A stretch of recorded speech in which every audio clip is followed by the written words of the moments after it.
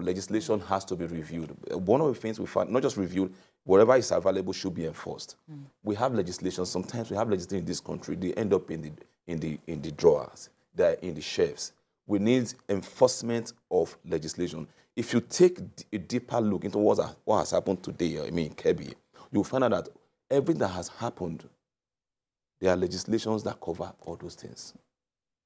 We are quick. Nigeria is one country that's quick to ratify international convention, that are quick to participate in international, international convention. Mm.